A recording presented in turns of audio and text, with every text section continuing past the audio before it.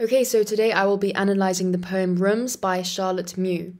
First, let's talk a little bit about the poet. So, um, the poem was written in the 1920s. This was only a few years before Mew died. In the poem, the poet seems to look back on her life and possibly reflects on her disappointment and frustration at the way that things turned out for her family. So, this is in the case if you were to assume that the speaker and the poet are equal. Um, so, three of her siblings died. Two of her siblings were committed to insane asylums, and this left only Mew and her sister Anne, who at the time was very sick. When her father passed away, Charlotte and her sister suffered financially and they were forced to downsize. Eventually, all they could afford was a small rented room that they needed to share together, possibly the little damp room um, that she refers to at the end of the poem. So we could say that the poem has um, certain autobiographical elements to it. Okay, so the deeper meaning. Life is unreliable, it is full of uncertainty. There is only one constant in life, and that is the fact that it will eventually end. So, this is a very sad poem and it reflects the lack of hope in the speaker's life. The speaker seems to look forward to death as she believes that it will offer her an escape from her pain and suffering. This is seen at the end of the poem when she refers to her coffin as a quiet bed, as though death would offer her with a sort of relief from all of this pain.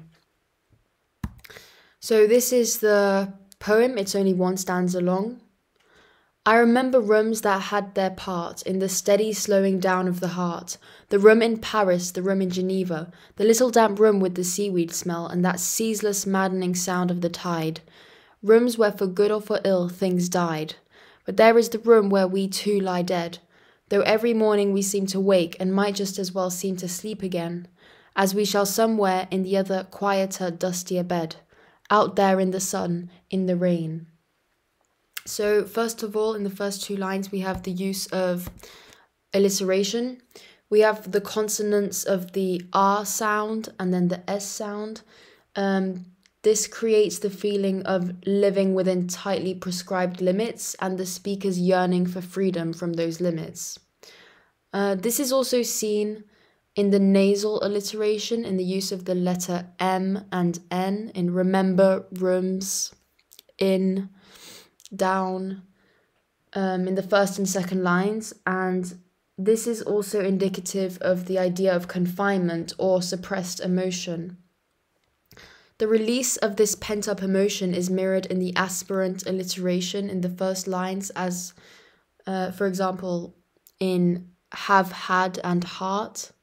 And these sounds encapsulate the dramatic tension in the poem and hint at the stifling personal and social restrictions that Mew lived in and yearned to be released from, as she lived in a society that was quite.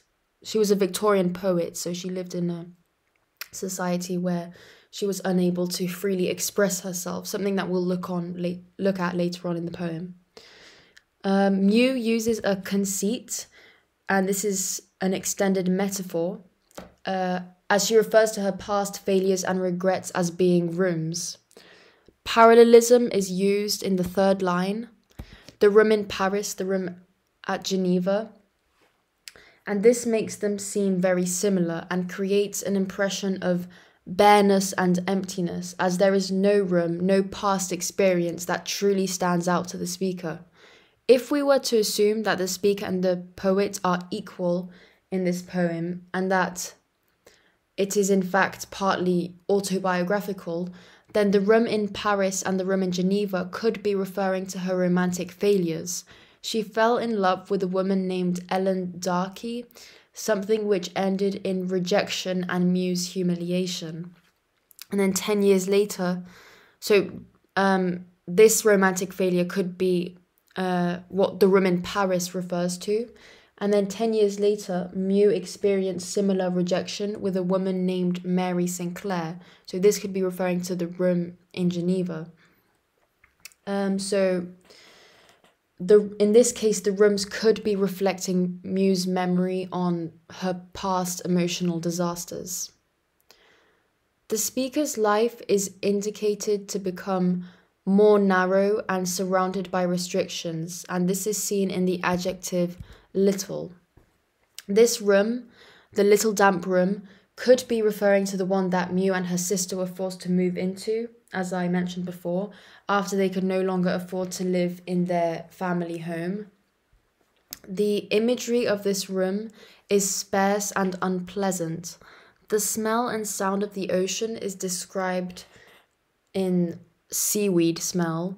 The sounds is mirrored in the sibilance of the S sound in seaweeds and smell. Um, however, the sights of the ocean are not described, which indicates that the speaker has been denied one of the essential pleasures of living by the sea. And this is something that is maddening to the speaker, as seen in the fifth line. The opposition between the ceaseless movement of the tides moving in and out and against the frozen, petrified life of the speaker trapped inside this one room is driving her towards insanity, hence the use of the adjective maddening. It is as though she is being cruelly reminded of the movement of the world around her while she is stuck in time, moving nowhere except towards death. So, the adjective maddening could also have an autobiographical element as after the death of her sister, Mew became delusional and increasingly fearful that she would end up like the rest of her siblings, who, as I said before, had been forced into mental institutions. And then uh, things died. Things is quite ambiguous, as Mew could be referring to love, but also things like optimism, happiness, and hope for the future. The hyphen emphasizes the last two words of the line and it creates a sense of in- inevitability and acceptance on the poet's um, behalf as she accepts that this is the future that fate had in store for her, and that is death. The two that Mew refers to in the brackets um, could be is most likely referring to Mew and her sister. Lie is in present tense, and this suggests that even before Anne's death, their reduced circumstances led them to feel as though they were in fact living a kind of living death, essentially. The, repet- the repetition of seem extends the idea of living death it is also it is as though the speaker can no longer make the distinction between the living world, the world of death, and the world of sleep. The sibilant and alliteration used in this line, we seem, uh, seem, sleep. What that does is it adds to the idea of living death as though the speaker were reflecting on her half life through drowsy, half open eyes, floating around on the line between life and death. In, so, as you probably noticed already, the eighth line is stretched out, and this represents the thoughts and feelings within the poem. It is as though the lines themselves are reluctant to be confined to such a limiting space, like the room which Mew and her sister were forced to to um, downsize and live in. Although the breaking out of the cage of this line should be a joyous event, the content and sounds of the line are sad and glum, as she's essentially uh, talking about her death and how she's living a half death. So, this conveys a sense of hopelessness. There is nothing she can do essentially to escape from this suffering except dying. The adjectives used to describe the bed, quieter and dustier, indicate that she is referring to her grave. It is as though she is looking forward to lying beneath her grave, as though death would provide her with a relief from her endless suffering, because at least her grave will be out there in the sun and in the rain, as well, I haven't highlighted it here, but as is mentioned in the last line of the of the poem. Um, so the sun and the rain refers to the things that she has been missing out on her life warmth, comfort, love in the case of sun, excitement, danger, exposure to risk in the case of rain. Mew was a Victorian poet. She was a woman and most likely a lesbian, as um, I indicated before, with her past romantic failures. So she lived in a socially repressive culture and these restrictions must have been suffocating for her and this is and this suffocation is reflected in the poem and the ever shrinking walls of the rooms slowly choking her towards her death until um, death seems to be the only release from that pain and that suffering to the speaker. Okay, so now I've arranged some topic areas um, for an essay to write this poem on in case it were to come up in the exam. So, first topic area, I would focus on the tightly prescribed limits and restrictions that seem to be pressing down on the speaker. For the second topic area, I would um, look at how the rooms uh, are a metaphor for the speaker's past romantic failures and how they have become smaller and smaller and show the narrowing of her life.